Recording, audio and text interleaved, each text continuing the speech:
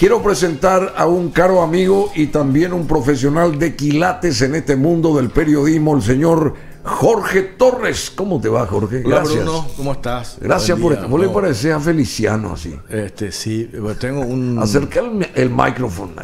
Este... Acerca. ¿Viste que Acá. ¿Qué te pasa? ¿Qué te pasa? No, no. Estamos. Porque vos eh, investigás mucho, todo, eh, un montón de tópicos. Tengo bastante ojo por una cuestión de que salió acá algo en el. Ah, ah claro, ahora, ahora veo, ahora veo. no, pero él, explicación eso. Él cumplió como siempre, vino, gracias Jorge, realmente, porque él terminó su programa de radio. Sí. En eh, Radio 1. Radio 1. Y bueno, él es uno siempre en periodismo, él está en todas. Eh, Dice que se descubrió un túnel en Tacumbú, o sea que no, no, se aclararon, no se esclarecieron las cosas todavía ahí, Jorge. Claro, lo que pasa es que ahí eh, no voy a decir nada nuevo, ¿verdad?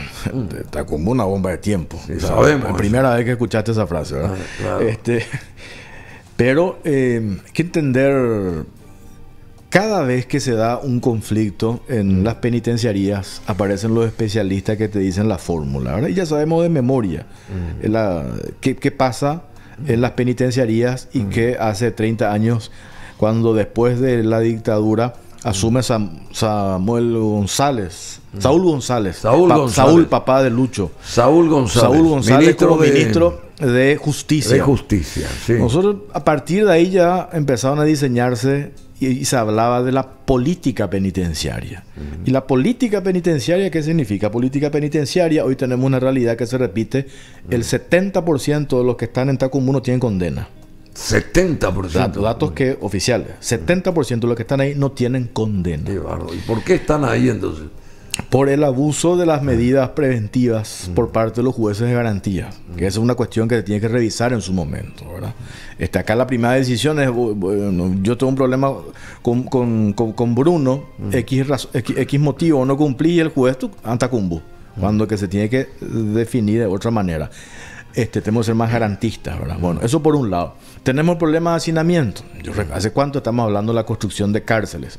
Hoy es cierto, hay tres cárceles que se están construyendo. Están avanzando una constructivamente. Está, una está en Mingaguazú, 75% de avance. Dos están en Emboscada, 60% de avance.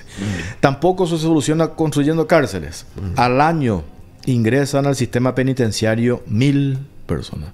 O sea, la solución no es construir más cárceles. ¿Cuál es la solución? Hoy tenemos una población penitenciaria de 15 mil. ¡Qué bárbaro! Entonces, de esos 15 mil, imagínate, este, ¿cuántos, ¿cuántos no tienen, no tienen condena? Entonces, esa revisión... 70% de los presos no, tienen... No tienen condena. No tienen, condena, 70% de los presos. y después tenés los otros. Uno le puedes tener al que robó gallina con el jefe de PCC.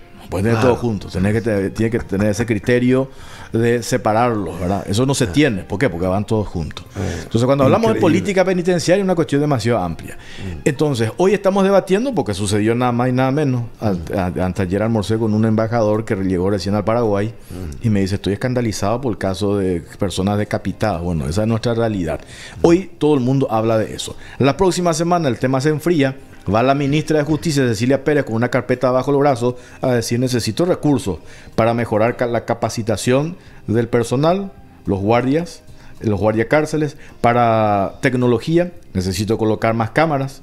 ¿Y cuál es la respuesta? No tenemos recursos. Se deja en un último plano todo lo que tiene que ver con la política penitenciaria. Pero ahora tuvo un apoyo supuestamente del gobierno de Estados Unidos, 200 mil dólares. ¿Qué hacer? Yo pensaba que por lo menos 2 millones de dólares le iba a dar eh, de apoyo Estados Unidos. A caballo regalado no se lo mina los dientes. 200 mil, 200 mil dólares, vos que sabes este tema tecnología. Comprar un auto por eso. No, pero querés instalar un sistema de circuito cerrado para renovar. Que hay autos de 150 mil y eso en plaza. No, no, no O 160. El tema del túnel que preguntaste al inicio. Sí. Eh, eso efectivamente se tiene, se encontró. Ahora, la policía, la policía, los efectivos de la policía no pueden ingresar. ¿Por qué? Porque si ingresa la policía, que fue uno de los temas de negociación cuando saltó el, amotinamiento, cuando va la ministra Cecilia Pérez a hablar con los líderes, ¿qué es lo que piden los líderes? Que se retire la policía. Por eso la ministra se retira para que la policía abandone ese lugar. Ellos no querían presencia policial. Si hoy ingresa la policía, ¿ustedes se imaginan que hoy en uno de los penales más importantes del Paraguay la policía no puede ingresar. ¿Y qué es lo que se teme? Que se dé ahí un enfrentamiento. Entonces están los guardiacárceles que están custodiando. Los guardiacárceles tenés dos tipos de guardiacárceles. Está la guardiacárcel que toca, que recibe plata, y está el otro guardiacárcel que puede ser honesto, pues está amenazado. Toda la familia amenazada. Y tampoco puede renunciar. Si renuncia se teme que él cante. ¿Por qué le, ah, claro. ¿Por, qué le liquidaron a estas...? Yo me preguntaba... Ahí que, quería, hacer, quería hacer un hincapié justamente ahí. Si fueron 18 los guardiacárceles que pasaron a ser rehenes de los del mitin, los organizadores del mitin, del mitin este, ¿por qué no los mataron, entre comillas, a ellos y sí a los pares de los presos? Porque los presos fueron decapitados o muertos, son siete en total.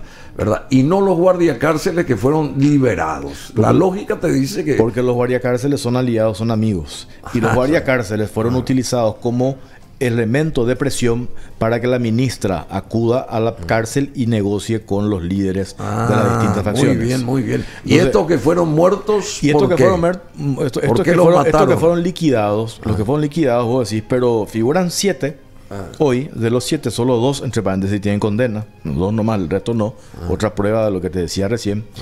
¿Por qué le liquidaron los siete? Este, algunos no forman parte ni del clan Rotela y tampoco forman parte del PCC. ¿Por qué los mataron? ¿Dónde arranca todo este lío? Arranca este lío cuando el, Ministerio de Justicia recibe vía inteligencia, porque el Ministerio de Justicia tiene un departamento de inteligencia que funciona dentro del Ministerio de Justicia. Recibe un informe de inteligencia que hay un plan de fuga. En ese plan de fuga, ¿a quién, quién, se iba a fugar? Se iba a fugar un personaje de nombre Orlando Efrem Benítez. ¿Quién es Orlando Efrem Benítez? Fue condenado en enero del año pasado, 19 años de cárcel, este, con, con otro grupo, son los conocidos Asalta Cajeros. Asalta Cajeros. Que pertenecían a la banda de Yacarepó. Socorro.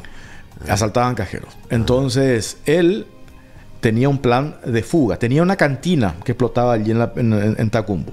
Ah. Cantina donde, vos dirás, eh, generaba él en esa cantina a lo mejor unas gaseosas, unas galletitas, pero lo más probable es que también proveía otro tipo de cosas que no voy Por debajo de la mesa. Bueno, ese plan de fuga... ¿Y a ese que le trasladaron era el mismo o no? Lo, trasladaron a la agrupación especializada. Uno de los el reclamo que hacían los, los que armaron, arrancaron el amotinamiento era igualdad para todo en las cárceles. Eso no entiendo. Eso es una cuestión genérica. Esa es una excusa, ¿verdad? Que todos sean tratados de la misma manera. Eso es algo genérico que en realidad es un argumento para tener una razón. El pedido real es que ellos querían que vuelva Orlando Efrem Benítez de la agrupación especializada a Tacumbo. ¿Por qué le liquidan a estos siete? Porque la presunción que tienen ellos es que estos siete fueron los que cantaron. Ah, sí. Por, este, fueron, por eso previamente. iba a haber la fuga. Claro, por eso previamente, eso cuenta Pablo Lemir, el forense, ah. no es que directamente a, se, le, decapitaban a, los internos. Mm. Hubo casos incluso de que quemaban un cuchillo, un hierro y primero le torturaban. O sea, de, terror. Eso está en, el informe forense, ¿verdad? Y después, le, y después le trasladaban de un pabellón a otro. Entonces, hoy, cuando decimos que, que, están investigando tres o cuatro fiscales, ¿qué es lo que van a investigar los fiscales? Es imposible saber quién es el responsable de, o quiénes fueron los responsables de ese hecho. O ¿por qué lo matan a estos siete que preguntaste? Porque tenían la presunción, o tienen la presunción de que eran los bocones, los bufones, los que, los que hablaron, los que cantaron, revelaron ese plan de fuga. Ahí nace el tema del amotinamiento. Qué bárbaro, che. ¿Y, cómo va a terminar esto? Y esta señora, la ministra eh, Cecilia Pérez, que es también apoyada supuestamente por Estados Unidos, y, hay mucha gente, parte de la población que, que la está apoyando a través de mensajes que recibimos acá.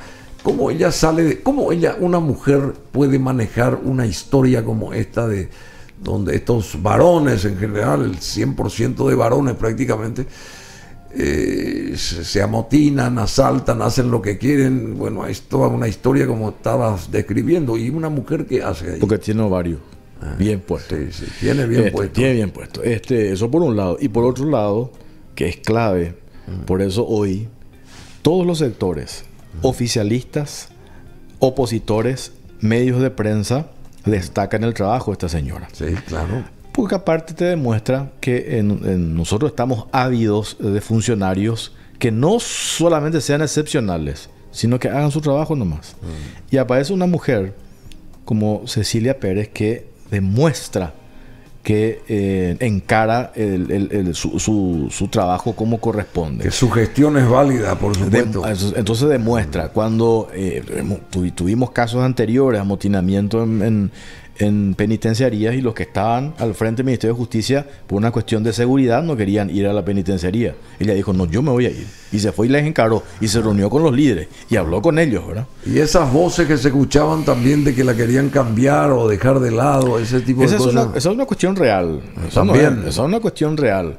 Cuando... ¿Y qué intereses hay ahí? Para, ¿Qué interés hay para cambiarla a ella si hace bien su trabajo, supuestamente? Ahí, entramos en el terreno de la conspiración natural de nuestra clase política. Cuando asume Mario Abdo Benítez, el primer designado ministro de Justicia fue JJ Río, un exdiputado que forma parte del equipo político del vicepresidente de la República. Hugo Velázquez. Hugo Velázquez. Lo sacan a JJ Ríos después de la fuga de Zamora. Jorge González alias Zamora, donde muere un comisario de apellido Figari. No sé si se acuerdan de ese caso. Zamora. Entonces eso le, costó, memoria. eso le costó el cargo, eso le costó el cargo a JJ Rivas. Asume Ever Ovelar después, hermano del senador Silvio Beto Ovelar. Por una cuestión de salud, Ever Ovelar renuncia y ahí asume Cecilia que estaba como viceministra. En ese momento. En ese momento asume, asume Cecilia. Desde, no sé si se acuerdan de Silvio Ferreira alias Indio Fifi. Sí, sí, sí. Que yo siempre digo, ¿quiénes son los funcionarios públicos que fueron a parar a la cárcel condenados por hechos de corrupción? ¿Qué se hizo de ese personaje? Uno él estuvo preso. Ah. Este, Silvio Ferreira. Silvio Ferreira. Él, estuvo, él estuvo, estuvo preso, estuvo Tacumbo. Una de las pocas, uno de los pocos funcionarios públicos terminó en la cárcel. Ah. ¿Por qué?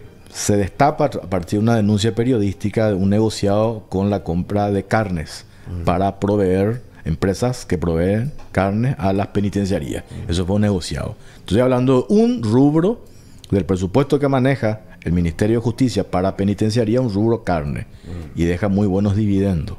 Ahí se, se, halló y se comprobó, se le condenó un daño patrimonial de 500 millones de guaraníes. Fue preso por, tuvo casi ocho meses por 500 millones de guaraníes Silvio Ferreira.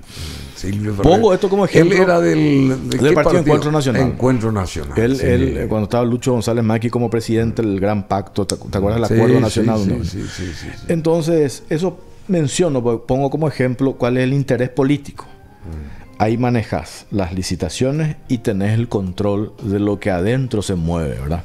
Imagínate este, los intereses que mueven desde el narcotráfico, este, eh, los asaltacajeros. Ahí las cárceles, en las cárceles están la mafia grande. Entonces, se tiene también la presunción de que desde las penitenciarías pudieron, pueden surgir hasta financiamiento de proyectos políticos, Por el volumen de dinero que maneja. Entonces vos, siendo un pez gordo que estás adentro, necesitas un alto funcionario del gobierno que te haga el guiño. No a lo mejor para que se dé tu libertad, porque tu condena puede ser muy elevada, pero para que tu estructura siga funcionando. Entonces hoy aparece una mujer como Cecilia Pérez que no está jugando aparentemente hasta ahora, pues yo no estoy en condiciones de poner la mano en el fuego por nadie, aparentemente no juega para ningún equipo. Entonces, por eso hoy tiene ella el apoyo, inclusive mencionaste los Estados Unidos y de todos los sectores. Interesantísimo este desglose respecto a ese mundo de Tacumbú o de las cárceles en general que hace e hizo aquí eh, Jorge Torres. Y esas cárceles que se están construyendo, eh, eh, bueno, servirán para qué? Para desagotar, digamos. Para descomprimir. Descomprimir la cuestión de Tacumbú, entre otras, ¿verdad? Va a descomprimir otras, otras cárceles. Está, la de, está la de Pedro Juan Caballero, la de Coronel Oviedo, la de ah. San Pedro donde hay una superpoblación. Entonces se va a descomprimir, una vez que se acaben, se va a determinar este, los pabellones que van a ser destinados a alta eh, peligrosidad. Para presos eh, de, alta peligrosidad. de alta peligrosidad o, las, celdas de alta seguridad también. Eso se va a determinar después cuando ya estén en la, etapa final de la, de la obra. Hoy están en un 60% y un 75% de la que está en Aguazú. 53 de las 11 con Jorge Torres, que tiene varios programas, varios espacios. Él es figura de Gen, también figura de Unicanal, figura de, de Hoy. ¿En cuántas radios estás? ¿En cuántos espacios tenés? A ver. Eh, Contá un poco. Digo, estoy a la mañana. Promocionate, de siete- promocionate. de- de- me voy a vender. De 7.30 a 11 estoy en Radio 1. Estoy todos sí. los días de 20 a 20.30 eh, en Canal 13. Sí, Canal estoy, 13. Estoy los martes a la noche hago la caja negra con un programa de investigación. Muy bueno. Los domingos a la noche Cara o Cruz con un programa de debate político que va por Unicanal por Canal 13. Ah. Escribo en La Nación y en Hoy Digital. ¿Y, y cuándo te vas a la peluquería entonces? Y tengo tiempo para visitarle a mi amigo como Bruno, que me invita gentilmente a su espacio. No, espectacular. ¿Cómo trabaja, Jorge?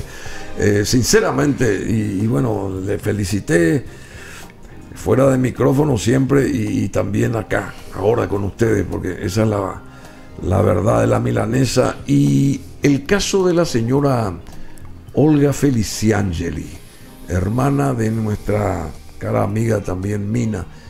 Eh, ¿Qué datos sabes de este episodio que sucedió, de este caso tan, eh, digamos, emblemático ahora, digamos, dentro del, de lo que ocurre, ocurrió en Asunción?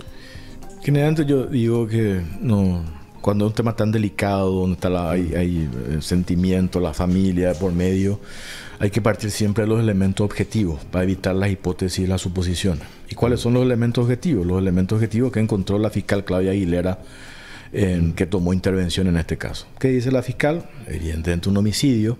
Y hay dos elementos que pueden conducir a la- que, para saber qué fue lo que sucedió ¿Cuál es? el cuchillo que se encontró en el lugar con la verificación después de las huellas digitales. Y lo otro es circuito de, las cámaras. cámaras. las cámaras que están en la casa y en- de la, la casa de la señora eh, Y en ese callejón. y en, la el casa de los, de los vecinos, ¿verdad? sí. Que va a ser determinante para saber qué fue lo que sucedió. Se descarta, según dijo la fiscal Aguilera, la participación de la mujer, la doméstica. Sí, sí, sí, sí. ¿Por sí, qué? sí. Por la hora en que ella llegó, después la revisaron a ella de punta a punta, no tiene rastros de, de, de- de forcejeos, ningún rasguño, nada, absolutamente nada en la mano se le hizo y prácticamente ella está desvinculada, de- Descartada. descartada, ¿verdad? De hecho, eh, algunos se preguntaban por qué ella reaccionó tan tarde. Y claro, porque esta señora, la Olga Felicia Angeli, tenía Sí. una forma de vida que eh, de noche eh, estaba- Vivía de eh, noche vivía de y noche, dormía era de mañana. Era activa de noche y, de, y dormía de mañana. Arrancaba a las 2 de la tarde su día. Así mismo. Entonces ella llegaba y dice no. Y le llamó la atención a la, la- a la mujer, la empleada, que no, que no bajaba la señora. a las 4 de la tarde. Y ahí le llama ella al hermano, a uno de los hermanos. A Lalo Feliciangeli, Eladio. Eh, y le llama y le dice, anda a revisar. Y ahí, Arquitecto. y ahí ella va y revisa y encuentra con, con esta terrible, con esta terrible, esa- con esa terrible Y escena. después vino también Lalo a hacer lo propio. También Claro, le claro. siguió Lalo, el hermano, y bueno, la encuentra ahí. Y después está lo otro que es un elemento que no se descarta en la construcción de lo que sucedió, que sí, eso es un elemento que se trae a colación, que ella había promovido una denuncia eh, sobre un inquilino, ella tenía una propiedad, una casa que le alquilaba a un personaje, En el 2018. y después se, eh, se encontraron hurgando el antecedente de este personaje que estaba vinculado al narcotráfico. Entonces eso te tiene como un elemento también para la investigación, lo que Bueno, no pero- significa pero- que eso pero- sea conclusivo, ¿verdad? Sí, eso pasó en el 2018. ¿Por qué esperó esa persona Claro. tres años para actuar? Hubiera actuado en el, Si el mes quería, siguiente. si quería en ese mismo momento. Claro, Porque- ese mismo momento, una semana o un mes después. Por eso decía, ese es un elemento Ah. pa- eh, que está dentro de, sobre la mesa para posteriormente construir la, la- la historia, lo que sucedió. ¿verdad? No descarta la ¿Y qué más se puede deducir de esto? ¿Qué más se puede...? eh, ¿Se deja así nomás o cómo es la asunto? No, y hay que, hay que, tenemos que esperar las resultas de el circuito, el clave, hasta, hasta un- una bodeguita, un almacencito de la esquina o tener una cámara de circuito cerrado que eh, constituye siempre un elemento determinante para dilucidar los casos, ¿verdad? Entonces, yo creo que va a ser determinante eh, cuando se acceda, se desglose y se vea que fue quién, quién ingresó, quién salió, y ahí se va a tener clara la historia. ¿verdad? Mm, sí, es, es terrible. Em, pasamos a otro tópico rápidamente, las vacunas. A ver, las vacunas. Se, habló, se habló mucho de que Paraguay iba a tener en principio algo así como 700 mil u 800 mil vacunas. Eso fue titular, ¿verdad? Después ese monto se redujo a 300 mil o 300 mil dosis. Y ayer llegaron 4 mil, ¿verdad? Que significa que 2 mil personas son las que van a estar siendo, digamos, eh, ¿cómo que se dice? Eh, inmunizadas. Inmunizadas, esa palabra no me salía. Inmunizadas, dos mil personas. Eh, después está esa charla telefónica supuesta con el presidente ruso, de presidente a presidente. ¿Por qué mendicantemente Paraguay siempre tiene la, recibe las cosas de una manera muy qué sé yo, de una manera bastante precaria, si se quiere. ¿Por qué es eso? Eh, este es un tema de las vacunas hay que dividir para entender, me parece que... Por favor. Eh, para entender. Eh, Esclarecenos. Sí, a todas luces acá hay un problema de gestión. Mm, sí, ¿Por qué un problema de gestión? Porque esto que hizo el presidente en Uruguay, estando con la calle Pou, le llama al presidente Vladimir Putin, eso tuvo que haber hecho ya, como decía esta mañana el doctor este Antonio Arbo lo tuvo que haber hecho el presidente en diciembre del año pasado, no ahora recién. Em, los países que en la región fueron ya beneficiados con las vacunas ya hicieron la negociación antes de que se resuelva, antes, arrancaron mucho antes de que, por ejemplo, la vacuna rusa ya tenga la certificación de que esa vacuna funciona. Nosotros no hicimos previamente. Nosotros apostamos al mecanismo COVAX. ¿Y qué es el mecanismo COVAX? El mecanismo COVAX es un mecanismo este, promovido por la Organización Mundial de la Salud para para que se para recepcionar, para recepcionar y mm. después eso distribuir, de, de manera equitativa a los países para que no queden fuera. Nosotros apostamos al mecanismo COVA, se pagó casi 7 millones, 7,5 millones de dólares por 300 mil que se confirmó vacunas de que vienen del mecanismo COVAX. Mm. Después se hace el anuncio mm. que se negocia con el fondo ruso, que son las, estas vacunas las Sputnik, 5. Eh, acordamos un millón de dosis. Hizo una conferencia de prensa el portavoz de Kremlin, el portavoz de Vladimir Putin, de nombre Dmitry Peskov. Eh, y dijo, hoy la prioridad en Rusia es vacunar a nuestra población. Por ejemplo, el alcalde de Moscú dijo, nosotros recién hemos vacunado a 600 mil personas. y Dicho esto, no estamos hoy en condiciones de proveer a toda la demanda internacional. Por ejemplo, incluso un país aliado del gobierno de Alberto Fernández, Argentina inicialmente pidió 5 millones de dosis. ¿Y cuántas le llegaron? 600 mil dosis. Ah, sí. Imagínate, hacer la relación. Argentina, que pidió 5 millones, le llega a 600 mil. Nosotros veimos un millón.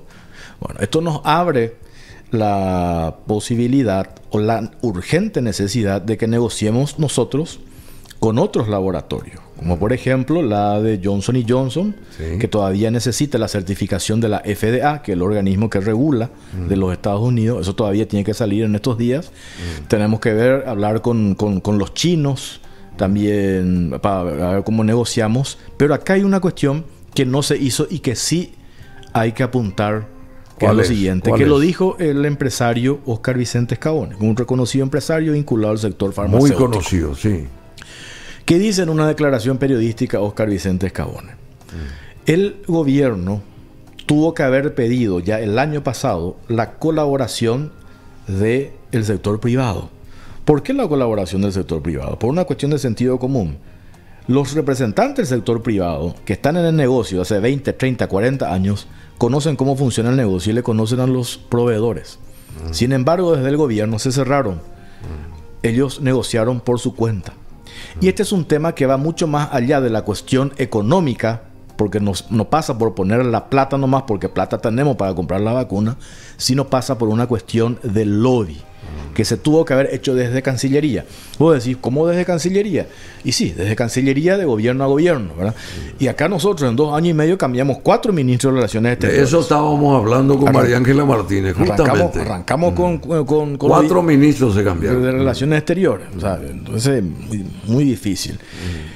Eh, en dos años y medio. En dos años y medio cambiamos cuatro ministros de Relaciones Exteriores. Bastante difícil.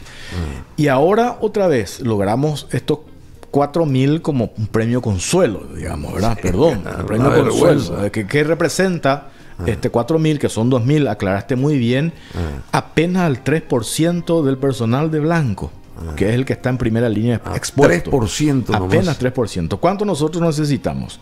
Nosotros necesitamos personal de blanco, este, en general, 22 mil. ¿Verdad? 7.500 médicos más las enfermeras y los que están allí en, los laboratorios bioquímicos, eh, camilleros, etcétera, etcétera, 22.000.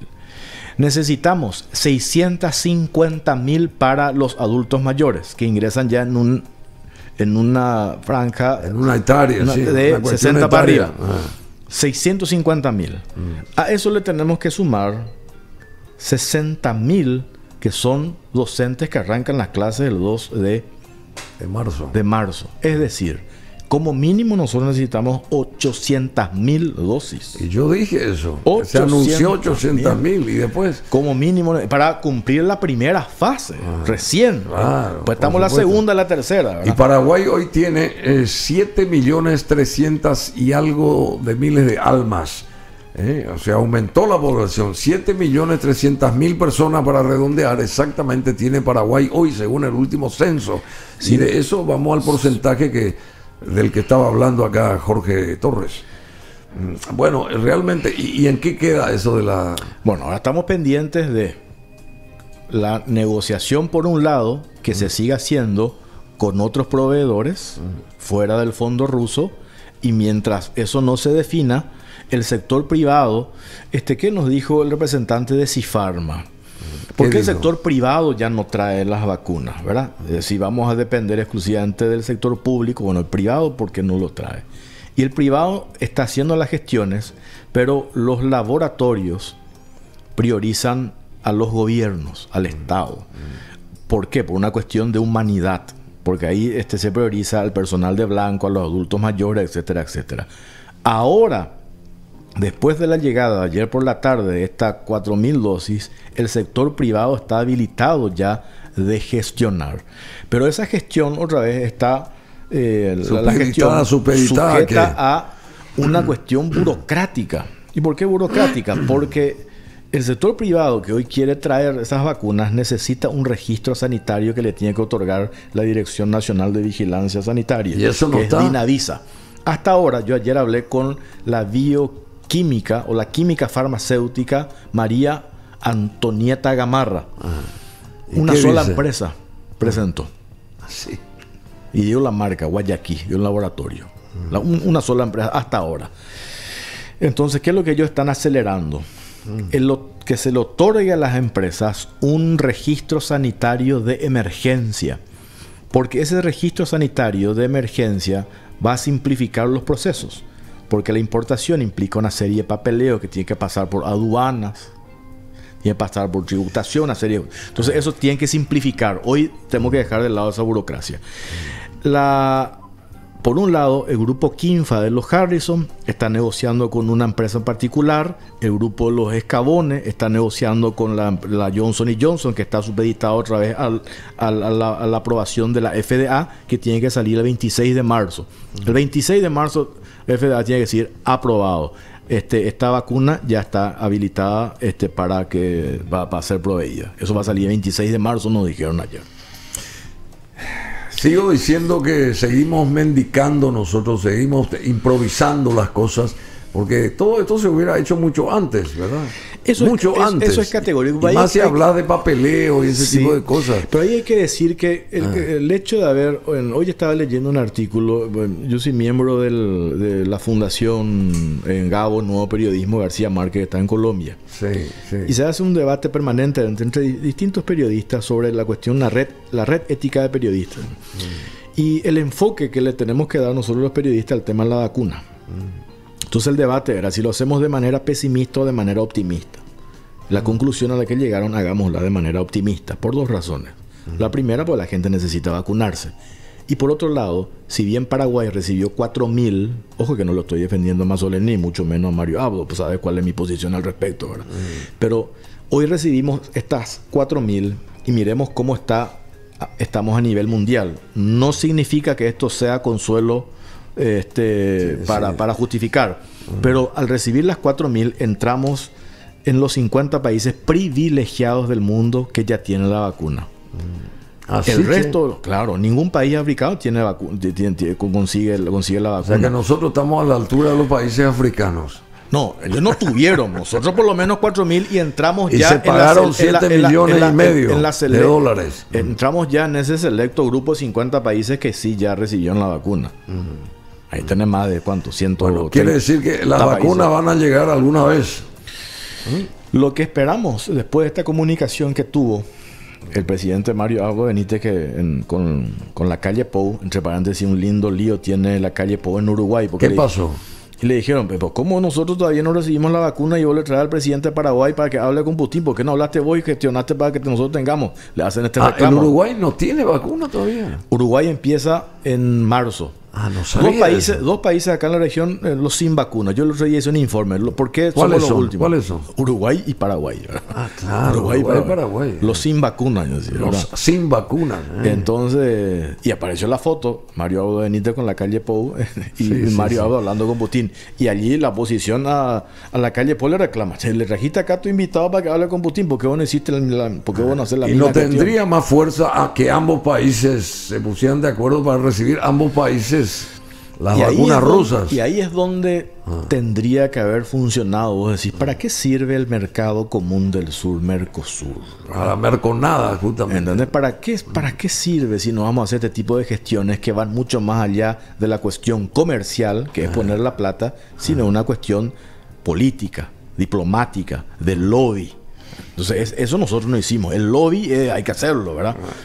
es fundamental el lobby. Fundamental. hoy hay una cuestión que se debate, y esto después yo creo que se va a debatir de vuelta a nivel mundial, mm. el egoísmo de algunas naciones consideradas poderosas. Así por, por, darte un ejemplo, mm. Canadá mm. tiene dosis superior a la cantidad de habitantes.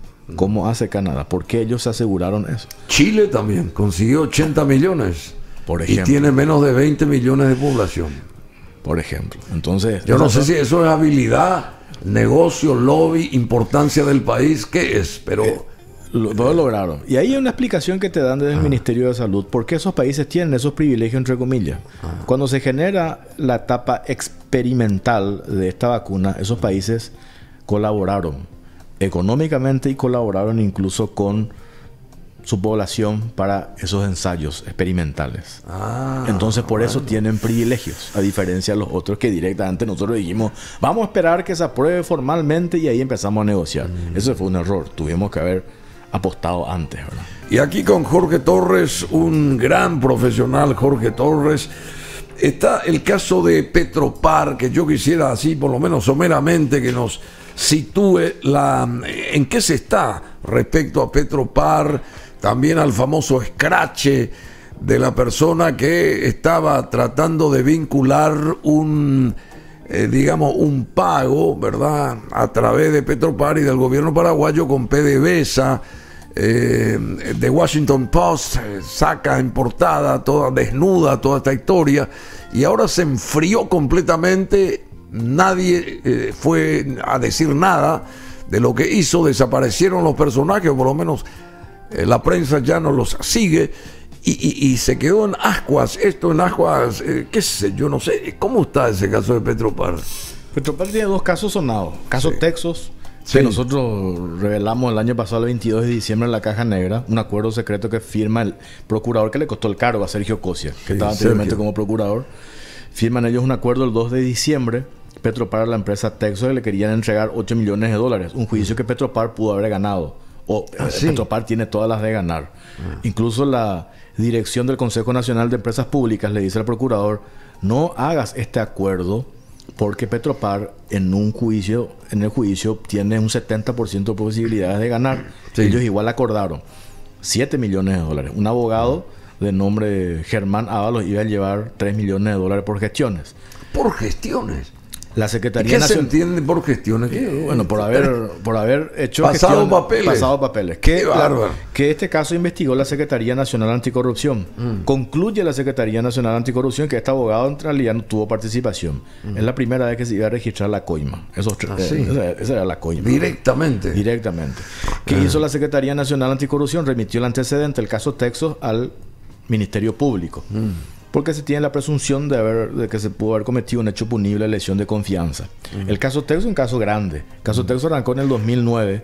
Es una empresa que iba a proveer combustible a Petropar y, que, quería ganar. De hecho, participó en una licitación de 31 millones de dólares. Perdona ahí. Sí. Antes de Petropar, Repsa refinaba el combustible y ahora Petropar almacena simplemente. Sí. O sea, ya no se fabrica nada, no se hace nada, no se refina nada ahí en las instalaciones de Petropar. quieren reflotar ahora un proyecto para para hacer para, para refinar combustible, pero hoy ah. eso ya no se justifica. Ah, no se justifica ¿por qué? Eh, según me dice, o sea, porque hoy operan Paraguay 22 emblemas. Sí. Entonces, ¿qué es lo que tenemos ah, ¿Qué es lo que Petropar, emblemas. Petropar hoy tiene que funcionar. Esto ya es una ah. cuestión, una opinión mía, y acá hay una cuestión ah. este, de por medio, hasta ideológica eh, o lo que fuese, ¿verdad? Pero yo siempre voy a lo práctico, ¿verdad? Ah. Ahí me dicen, ¿vos sos de izquierda o de derecha? Yo no soy de izquierda ni de derecha, soy todo lo que funciona, digo. Ah. Todo lo que funciona, ¿verdad? Hoy ya está demostrado, ¿verdad? Que hay cuestiones de izquierda que funcionan y cuestiones de derecha que funcionan. Tony Blair le preguntaba, ¿por usted, el primer ministro, le preguntaba, ¿usted de derecha o de izquierda? Sí, yo le digo, soy las terceras vías. ¿Y qué tercera vía? Todo lo que funciona, digo. Ah, muy bien, Tony Blair. Claro. Mi ídolo era ese. Bueno. ¿Qué, ¿Qué tiene que hacer Petropar? Petropar tiene que ser hoy un gran ente regulador.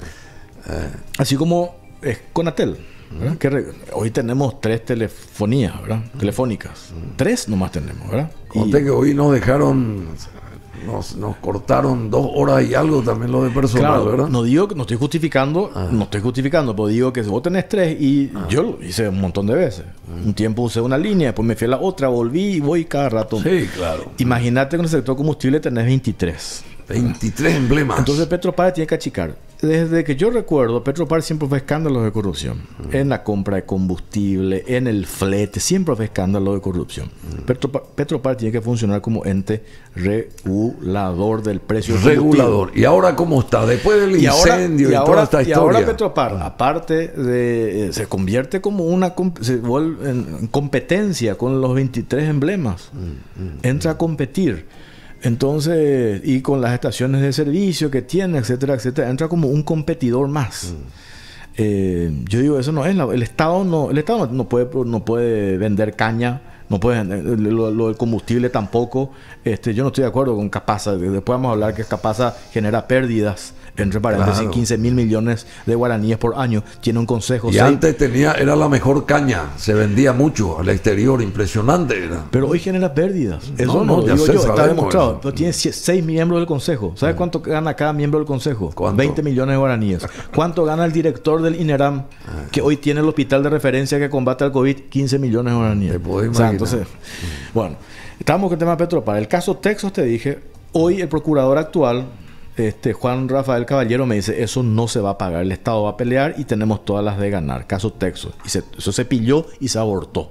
Mm. Se pilló el fato y se abortó y le costó el cargo al procurador que estaba anteriormente, Sergio Cosia, Sergio del equipo, del equipo jurídico de Juan Ernesto Villamayor. Justamente, trabajan juntos ellos.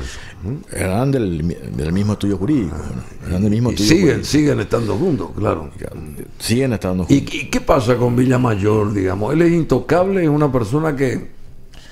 Él, él le protege al presidente eh, o, sostiene la presidencia.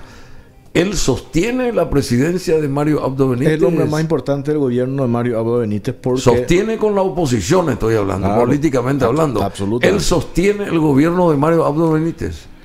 Si hoy Mario Abdo Benítez se despoja de Juan Ernesto Villamayor, ah. el presidente se queda sin un hombre clave para él este, en, las negociaciones, en la retórica.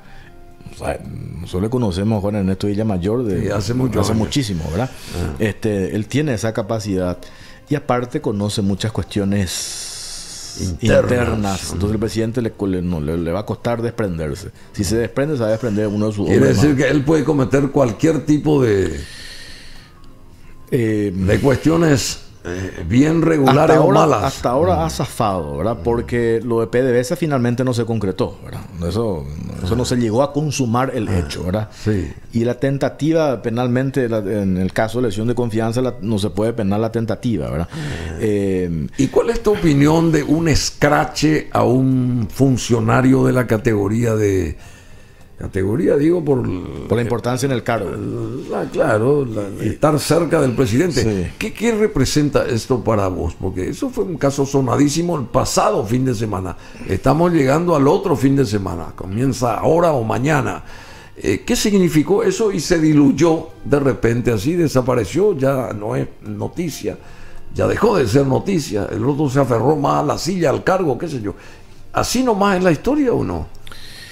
Y eso hay que interpretar de distintas maneras. Por un lado, yo digo, el caso de Villamayor, hay un, eh, hay un hecho que sí no se puede dejar de lado, que es ese escrache espontáneo, natural, real que existió esa noche. Que después ese hecho se haya utilizado políticamente por un sector interno del Partido Colorado, esa es otra cosa, que es real y es natural. Yo voy a usar todas las herramientas en contra de mi enemigo político. Lo que yo no puedo hacer, lo que hizo la diputada Katia González, reducir este hecho a una cuestión de un enojo de los cartistas nomás hacia Villamayor. Que ese sector interno haya utilizado, reitero, para cabalgar sobre el escrache y pedir la cabeza de Villamayor, esa es otra cuestión. El hecho natural, legítimo, es que había un grupo de ciudadanos en esa noche que deciden, al verlo a este hombre, deciden de manera espontánea escracharlo y gritarlo. Y ahí hay que hacer otra separación. ¿Cuál es? ¿Cuál sería? Eh, yo siempre digo que los funcionarios públicos que son servidores públicos, nunca debemos perder de vista la razón del funcionario público, porque hoy se creen superiores. Por eso, son, son servidores ah. públicos, nadie le pone un arma en la cabeza para que se dedique a la función pública, tiene que ser una vocación. el funcionariado público tiene que ser una vocación y aparte que tiene que ser bien remunerado para que nosotros tengamos los mejores. O si no, los, mediocres van a administrar el, Estado. ¿verdad? Entonces tenemos que incentivar a que los mejores estén y sean buen, bien remunerados. ¿verdad? Eh, ahí se da un hecho, lo de Villamayor. El funcionario que tiene una carga pública y que es señalado en un, en un lugar público, como un restaurante, como ocurrió el sábado, le tiene que agarrar a su esposa, a su amigo, retirarse. Así como lo hicieron otros. Pongo ejemplo. José María Ibañez. Lo escracharon hace tres años por el caso de los caseros de oro en un restaurante que está ahí sobre Pacheco o Gaúcho. Le toma la mano a su señora y se retira. ¿Qué hace Villamayor? Provoca. Que es, que es una actitud propia de su personalidad. Soberbio, arrogante, mm. petulante, engreído. Mm. Bueno, entonces él le encara a la gente. Y ahí genera una provocación. Cuando este señor, Felipe Jiménez, el que le da el tongo, y que algunos dicen no estamos de acuerdo con la violencia, absolutamente no estamos de acuerdo con la violencia, porque ya deja de ser un scratch cuando se da la violencia. Porque nosotros no podemos Pero creo que hubo provocación. A eso voy. Nosotros, por un lado, no podemos dirimir nuestra diferencia a los mm. puños, no podemos hacer justicia por mano propia. Estamos de acuerdo. ¿Qué dice Felipe Jiménez? Yo estaba sentado. Quienes arrancan el escrache fueron otras personas. Y de ahí se levanta su señora y le increpa a Villamayor. Y Villamayor se levanta y no sé qué cosa le dice a la señora. Y ahí, por supuesto, el marido se va y le dice, che, ¿qué te pasa para decirle eso vos a mi esposa? Y ahí él le empuja. Y ahí ella mayor viene con un derechazo y él se esquiva y responde. O sea, hay una provocación. Entonces, no por ese hecho del, de la violencia vos podés desvirtuar el hecho precedente, que es la reacción natural de un grupo de ciudadanos que decide a ese funcionario público señalado por una serie de hechos de corrupción que decide gritarle. Es el escrache, tiene más fuerza que 20 etapas de diario, porque a Villamayor se lo humilló. Entonces, ese funcionario público que actúa de esa manera, este, yo digo, pues hay que, hay, la, ciudadanía tiene que hacerle sentir su desprecio hacia mm. comportamientos como, lo, como los que tuvo este señor. Bueno, pero si él estaba en ese momento en la cuerda floja por parte de la ciudadanía, ¿por qué no se quedó en su casa, pedía un delivery y pasaba regiamente con su señora y con sus invitados, lo que sea? ¿Por qué tiene que ir a demostrarse? o, mostrar su fuerza públicamente y decir yo soy el, el rey. Yo soy el intocable. El intocable. No puede serse, amigo, partiendo de esa base, ¿verdad? Eh, si vos estás en un momento eh, no, no tan bueno. Él, en su retórica dice, ¿por qué mm. ustedes me están reclamando el caso PDVSA? El caso PDVSA no se concretó. Y mm. muy hábilmente, ah. como buen sofista, mm. él dice... Sofista, está bien. y no se creó que fue yo, un reclamo que yo también le hice a los diputados. No construyeron la historia el caso PDVSA. Construir la historia para señalarle, ¿verdad? Entonces él te dice, ¿de qué me estás acusando? Si lo que en el caso PDVSA era una propuesta interesante para el Paraguay, una quita ventajosa para el Paraguay. Mm. Yo estoy de acuerdo con eso. Nosotros tenemos una deuda de 300 millones de dólares Petropar con PDVSA. Si te hacen una quita del 50%, yo, ¿cómo va a estar en contra? Pero ¿dónde está el pecado de Villamayor y dónde está el hecho repudiable? que querían asignarle 26 millones de dólares, similar al caso Texas, a los abogados en concepto de comisión. Había un argentino o dos argentinos. Dos argentinos. Ah. Un, eh, uno apellido Vidal y el otro Troconis. Sí. Entonces, estaba el Carlos Abdo también presente ahí. claro, el Vidal fue abogado en un momento de Abdo, el primo. Eh. sí, sí, sí. Entonces, entonces, ese caso hubo una tentativa, un intento de arreglo. Y eso no lo decimos, no lo dicen sus detractores, no lo dice una publicación que arrancó en el Washington Post. Justamente. Precisamente, ¿verdad? Ah. El Washington Post que tiene el, en su vitrina el haber descubierto el caso emblemático de la investigación. Watergate. De la investigación periodística, ¿verdad? Cayó eh, Richard Nixon, no, hay nada menos. Bueno, y esa publicación también, y, tenemos que ir concluyendo ya porque Jorge tiene que ir a almorzar con usted, que yo lo invité acá, ¿eh? Para almorzar. Pues, almuerza seguramente mejor compañía, me imagino, ¿verdad? Bueno, pero esa publicación allá de Washington también hizo que mm, se pusiera a este Juan Guaidó en la cuerda floja y 23 naciones de Europa le restaron el apoyo o le sacaron momentáneamente el apoyo y después eh, arreglaron otra vez esa historia tuvo mucha fuerza ese artículo de Washington Post. ¿eh? Claro, donde, por supuesto, ahora estamos hablando de un prestigioso medio, pero en realidad ahí hay que decirlo, Guaidó que es lo que dijo, este, eh, nosotros tenemos que ver cuáles son los compromisos internacionales que tienen o a los países que le deben a Venezuela. Mm. Porque estos tipos que están en el poder, Maduro y compañía, se están llevando todo. Mm. Vamos a proteger los intereses de, Venezuela de, de los recursos que tenemos afuera. Y ahí es donde se abre, este, o sea, hace un relevamiento primero de datos, de qué es lo que se tiene, y en ese lapso es donde se plantea con Paraguay, con Paraguay el tema del arreglo de PDVSA. Y eso era imposible que avance, ¿por qué? Porque nosotros estamos sujetos a un tribunal arbitral en París. Y ese ah, tribunal arbitral concluye y dice, hoy no se puede arreglar nada hasta tanto se solucione el problema interno político que tiene Venezuela. Desde ese momento no se tuvo que haber arreglado nada.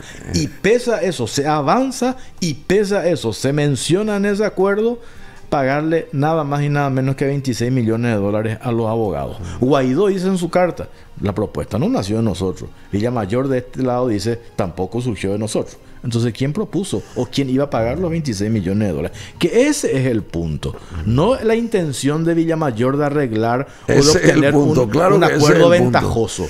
Claro que ese es el punto. Y además, Paraguay eh, supuestamente eh, trataba con Guaidó hasta ese momento la diplomacia con Venezuela y excluyendo al propio Maduro.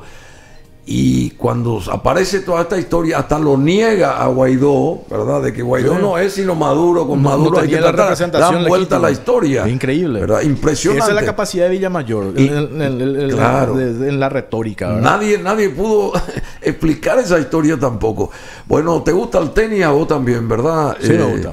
Bueno, la final de tenis, eh, vamos por las mujeres primero el femenino, sí, el, plano femenino, desde el plano femenino, la final es mañana sábado entre Jennifer Brady, que es la 22 entre las mujeres más importantes del tenis del mundo, ella es norteamericana, y la número 3 que es japonesa Naomi Osaka.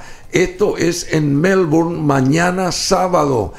Y en, eh, entre los tenistas masculinos más importantes, sobresalientes, está por supuesto el número uno, Djokovic, Novak Djokovic, que se enfrentará, es de Serbia, se enfrentará a un ruso que se llama eh, Danieles Mendevev, Mendevev, una cosa así, número cuatro del mundo, Medvedev el ruso y Djokovic de Serbia número uno. Son las dos finales y esto va a ocurrir el domingo 21.